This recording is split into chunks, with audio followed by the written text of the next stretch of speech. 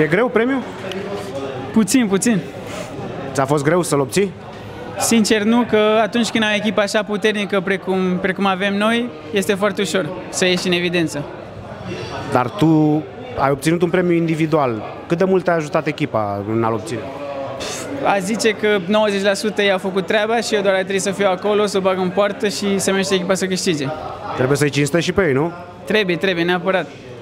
Ce ambiții aveți în acest sezon? Că o duceți bine și în campionat și în cupă. Eu zic că campionatul în proporție de 80% este câștigat deja, dar cea mai mare ambiție ar fi să ajungem cât mai departe în cupă și de ce nu, poate o câștigăm.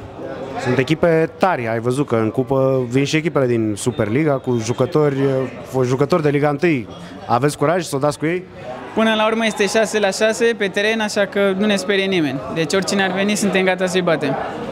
Ce sfaturi ai primit de la tatăl tău vis-a-vis -vis de anumite tactici, de anumite mișcări în teren? Să, să, mă, să gândesc cât mai repede, să gândesc înainte să vină mingea, a zice că ăsta e sfatul cel mai important pe care mi l-a dat și practic să fiu cu un pas înaintea adversarului. Ești un marcator, tatăl tău era mai degrabă un uh, controlor de joc, ca să zic așa, ți-ți place mai mult golul, ești atras mai mult de poartă adversă. Da, eu mă consider mai, uh, mai ofensiv, de, chiar dacă joc la mijloc, dar ajung foarte mult de linia a doua și a zice că calitatea cea mai mare pe care o am este până la urmă șutul și datul la poartă și așa că Ești dreptaș sau stângaș? Că tatăl tău era stângaș. Din păcate dreptaci, atât s-a putut. de ce din păcate? Că uite, ai dat 18 goluri în luna mai. Așa e, așa e. Mi-ar fi plăcut să fiu stângaci, că până la urmă a fost stângaci și na, până la urmă stângacii au alt, altă aură, să zic așa. Ce jucător urmărești din fotbalul mondial?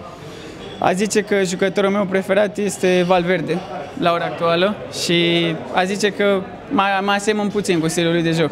Și echipa preferată? Barcelona. Și din România ce jucător îți place? Român?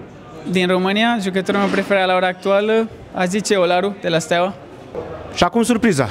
Ai fost uh, recompensat de partenerul nostru VIP uh, Business Voyage cu un uh, sejur pentru două persoane la munte. Te-ai gândit uh, pe cine vei invita?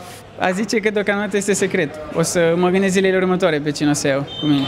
Sunt uh, mai multe candidate. Concurența e mare pe post? Să zicem. Mersi frumos. Mulțumesc frumos.